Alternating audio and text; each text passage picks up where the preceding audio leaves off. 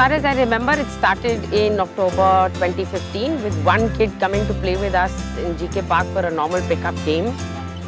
And that one kid, after a couple of games, the impact that he took back to his uh, the area where they stayed.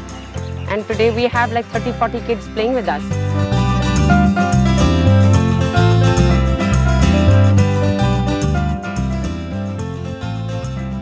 Recently, they got into a tournament where they were seeded 30th, and at the end of the tournament, they got seeded 18.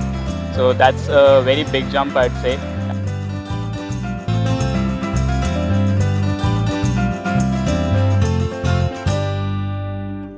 So actually Delhi Ultimate started around uh, almost 10 years back. Stray Dogs and Sweater, I mean we both play with the same team as today.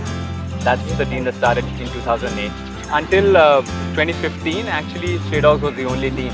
And then uh, towards the later half of 2015, that's when GK Match started. Uh, and then there have been a few teams that have come up. So as of today, Delhi Ultimate has around close to 150 members playing.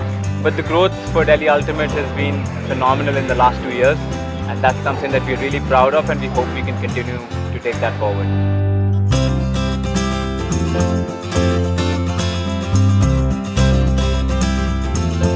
great to see their progress in terms of uh, physical fitness, their confidence on the field. We had a couple of kids who came and played with us who were slightly overweight when they started and how fit Yeah. they've become today and how what Ultimate has done to them. They also realized that Ultimate Frisbee, you need to be fit to play Ultimate and how they've worked on their fitness and they've gone back and motivated so many other kids to come and join the sport.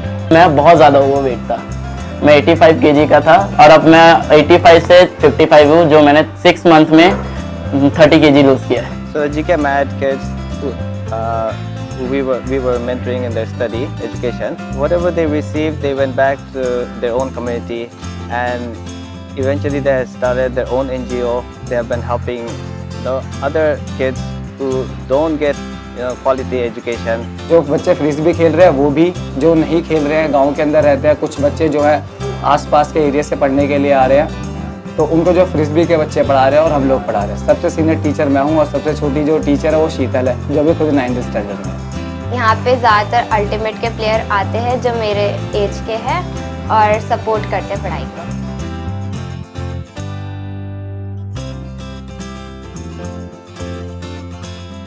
So as a coach, of course, it gives us great pleasure to see how much they've grown, um, but also in terms of their personality. I think these kids have done great. It's, it's just a pleasure to see what they show on the field in terms of spirit and what they take back home. It's the stir that these kids created at the tournament.